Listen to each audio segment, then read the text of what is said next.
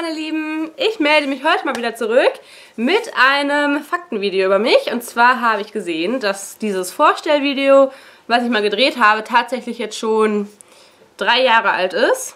Und ich dachte mir, es wird Zeit für ein neues Video. Eben für welche unter euch, die vielleicht noch nicht so lange dabei sind, die vielleicht das alte Video nicht entdeckt haben. Ich verlinke es aber auch in der Infobox. Genau, hier einfach mal 10 Fakten oder 10 Dinge, die ihr noch nicht über mich wusstet. Kommen wir direkt zum ersten. Bis zu meinem 20. Lebensjahr mochte ich die Farbe rosa nicht. Ehrlich, also weder an mir, noch an meinem Pferd, noch irgendwo anders. Und mittlerweile ist rosa das Schönste, was es gibt, finde ich. Und es macht nur Spaß und ich liebe diese Farbe einfach. Und ich weiß gar nicht, wie ich so lange nicht rosa mögen konnte. Ja, komisch, ne? So, Zwei. Die zwei ist, oder der zweite Fakt ist, dass meine absolute Lieblingspferderasse die Fjordpferde sind. Ich weiß gar nicht genau warum, aber ich bin äh, eine Zeit lang auch mal Fjordpferde geritten und es hat einfach immer Spaß gemacht und es war einfach eine coole Zeit und die sind immer so gut gelaunt irgendwie, keine Ahnung. Ich weiß nicht genau, was mich an dieser Rasse so gefesselt hat, aber ich finde find die einfach toll. Also, ich glaube, das nächste Pferd wird ein Fjord. Ja. So, Fakt Nummer 3. Ja, das ist ein Fakt, ich weiß nicht, den können sich bestimmt einige gedacht haben. Ich habe den Rubino jetzt seit zwölf Jahren. Damals war ich äh, elf. Und ich bin ganz oft auch von dem Mutter gefallen. Also auch gar nicht... Ja, es musste auch einfach so kommen, weil ich war jung, Robinho war jung. Wir haben total dämliche Dinge gemacht, einfach Einfach, weil wir Spaß dran hatten. Wir sind ganz früh ohne Sattel geritten und nur mit Halfter geritten und, und, und, und, und. Ja, dass man da ab und zu mal fällt, ist, glaube ich, vorprogrammiert und ganz normal. Ich habe mir auch von Robinho noch nie was getan. Also wenn ich äh, mir bei Stürzen wehgetan habe, war es von fremden Pferden, nicht von meinem Pferd. Ich weiß nicht, ob es daran liegt, dass wir das einfach so oft geübt haben, dass ich aus praktisch jeder Lebenslage von Robinho fallen kann. Das könnte sein. Die vier die 4 ist auch ein Fakt, äh, ja, der irgendwie, ich weiß nicht. Es ist halt einfach so, ich kann es nicht beschönigen oder abschwächen oder schönreden. Ich konnte Rubinho einfach noch nie aussitzen.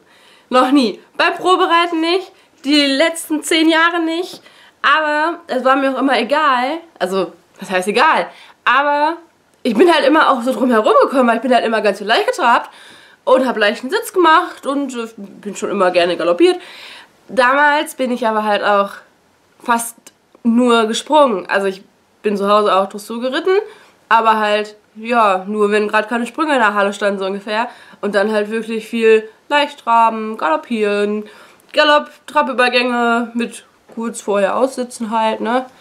Aber dass ich jetzt wirklich aussitze und eine ganze Prüfung durchhalte praktisch, habe ich jetzt eigentlich seit 2015 erst angefangen, seit wir eben die Diagnose bekommen haben, dass Rubinho nicht mehr so viel und nicht mehr so hoch springen soll. Da wurden wir sozusagen zum Zwangsdressurreiter. Genau, unter Vorsitz nur gesprungen und deswegen war es mir nie so bewusst, dass ich ihn wirklich so schwierig nur aussitzen kann. Aber das Gute ist, dass es kaum einen Menschen gibt, der sagt, dass man Rubinho gut sitzen kann. Also es liegt nicht nur an mir, er ist auch einfach unbequem. Fakt Nummer 5. Ich bin damals, obwohl ich fast nur gesprungen bin und auch äh, fast nur auf Springturniere gefahren bin, immer im Dressursattel gesprungen. Ja, immer. Knüppel, kurze Bügel, weil ich einfach äh, total der kurze Bügel-Fan bin. Im Dressursattel. Ich hatte die Knie immer auf den Pauschen. Immer. Ähm, es ging trotzdem. Und wir sind äh, L-Parcours durchgesprungen, einzelne M-Sprünge gesprungen. Man braucht gar keinen Springsattel zum Hochspringen. Geht auch, geht auch im Dressursattel, geht übrigens auch ganz ohne Sattel. Fun Fact. so, die 6. Die 6 ist der Fakt, äh, oder hinter der 6 verbirgt sich der Fakt, dass ich den Rubinho damals selber eingesprungen bin und auch ähm, selber ausgebildet habe. Also als ich ihn bekommen habe, konnte er Schritt, Trab, Galopp gehen auf dem Zirkel und die ganze Bahn. Genau, und das habe ich ihm, alles was er jetzt kann, habe ich ihm selber beigebracht. Ähm, ja, mit Unterstützung von Reitlehrern, aber zum Großteil halt auch selber. Das ist gerade die Foxy, die bellt. Ich weiß nur noch nicht warum. So. Geht's wieder? Scheint zu gehen.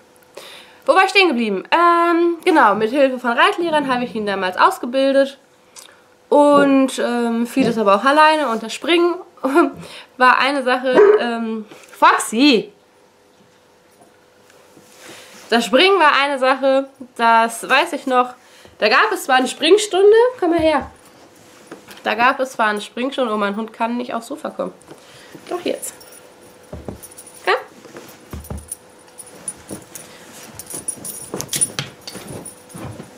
So. Darf ich weitermachen? Gut. Ähm, ich war damals in der Springstunde mit meiner Reitbeteiligung und dann habe ich so gedacht, wie man so mit elf ist, ich bin in der Springstunde geritten, dann kann ich das, was wir in der Springstunde machen, kann ich auch mit meinem Pferd auch machen. Dass mein Pferd vorher noch nie gesprungen ist. Ja, war egal damals. Ich habe einmal einen Sprung in die Halle gestellt. Da ist der kleine Hund. Ich habe einen Sprung in die Halle gestellt, bin im Trab dagegen geritten. Ich weiß gar nicht mehr, ob es beim ersten Mal direkt funktioniert hat. Wahrscheinlich nicht, es wäre ja komisch.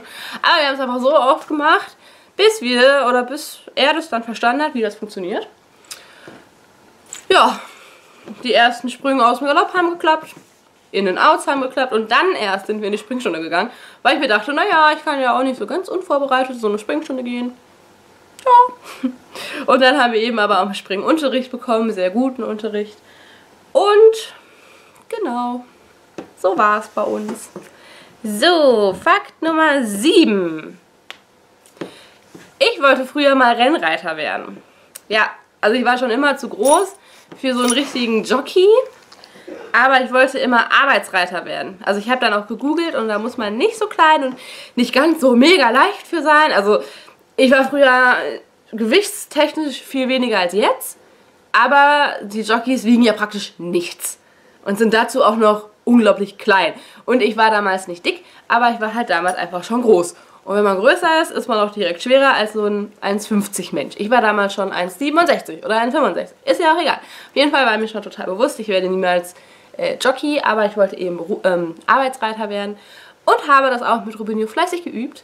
Wir haben damals ähm, besagten Dressursattel gehabt, den ich eben auch schon mit sehr kurzen Bügeln geritten bin im Springen. Und fürs Rennreiten habe ich dann einfach die Bügel, ich weiß nicht, viermal umgeschlagen oder so sodass ich dann mit den Schienbeinen auf der Pausche lag und dann äh, ging es im Stehen im Galopp übers Feld. Ja, Zeit wurde natürlich auch gestoppt, wir waren immer super und wir haben dann auch äh, ja, in der Halle so Rundenzeiten gemessen, ne? wie schnell man einmal so die ganze Bahn galoppiert. Es war cool. Es ist leider nie was aus meiner Rennreiterkarriere geworden. Schade. Aber gut, ich habe es probiert. Fakt Nummer 8. Ja, ich wollte nicht nur Rennreiter werden, ich bin auch mal zwei Jahre lang Western geritten. Ähm, erst auf Westernpferden, die standen bei uns im Stall, das fand ich total lustig und dachte so, oh ja, kannst du ja auch mal machen. Dann hatte ich auch eins von den Pferden so als Reitbeteiligung, so für dreimal die Woche. Ja, und dann dachte ich mir so, oh ja, cool, das will ich mit Rubinho auch machen gesagt, getan. Ich durfte mir dann immer schöne Westernsattel ausleihen. Eine Western-Trense habe ich selber, die hatte ich glaube ich damals sogar schon, die habe ich da einmal zum Ausreiten genommen. Und kurzerhand wurde Robinho dann äh, Western geritten, zwei Jahre lang. Genau, hat er eigentlich auch ganz gut gemacht, aber es war irgendwie nicht so meins. Also ist es auch immer noch nicht. Ja, genau. Dann sind wir sogar schon bei Fakt Nummer 9. So, 9. Und zwar bin ich eine Zeit lang auch mal Isländer geritten. Der eine war, glaube ich, ein Fünfgänger, der andere war ein Viergänger und das war lustig. Also gerade im Gelände macht es schon Spaß. Auch gerade dieses Tölten ist echt mega cool, weil es einfach bequem ist und sich lustig anfühlt. Aber so auf die Dauer wäre es, glaube ich, auch nicht für mich und ich bin sehr froh, ein Warmblut zu haben. ja. So, der allerletzte Fakt. Der aller, allerletzte Fakt. Und zwar muss ich gestehen, dass ich am Stall ein sehr, sehr ordentlicher Mensch bin. Ich weiß immer genau, wie mein Schrank organisiert ist und ich hasse es, wenn jemand an meinem Schrank war und ich sehe das. Also egal, ob das vielleicht eine Reitbeteiligung von mir war oder jemand, der Robinho in meiner Urlaubsvertretung reitet. Aber sobald ich sehe, mein Schrank ist unordentlich, räume ich den komplett aus, räume ihn wieder ein, damit alles an seinem Platz liegt. Es ist ein bisschen komisch, weil zu Hause sieht die Sache ganz anders aus. Aber das kennen bestimmt einige von euch, dass man am Stall super ordentlich ist und zu Hause, ja, kann man es auch mal so schlüren lassen. Ich glaube, das ist, das ist bei uns Reitern einfach so. Schreibt es mir mal in die Kommentare, ob das bei euch auch so ist. Ich glaube, wir sind einfach, wir sind einfach so. Wir Reiter sind einfach am Stall viel ordentlicher als zu Hause, weil da sind, also am Stall sind wir ja auch eigentlich viel häufiger und länger. Also ich jedenfalls. Jo. Das waren die 10 Fakten über mich, die ihr hoffentlich noch nicht wusstet. Und ähm, genau, das alte Infovideo stelle ich euch unten in die Infobox und dann sehen wir uns in der nächsten Woche wieder. Ciao!